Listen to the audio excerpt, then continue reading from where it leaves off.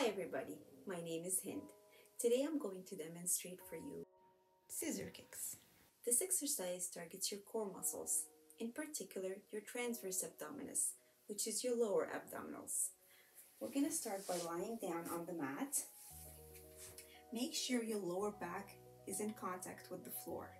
The goal for this exercise would be to perform scissor-like motions with your feet. And that's considered one repetition. I'm going to show you a few repetitions. One, two, three, four, five. A regression for this exercise would be to lift your feet closer to the ceiling. That takes some of the pressure off your transverse abdominis and it makes it a bit easier to perform. One, two, three, four, five. A progression for this exercise would be to do the opposite, which is bring your feet as close as possible to the ground and lift your shoulders off the floor.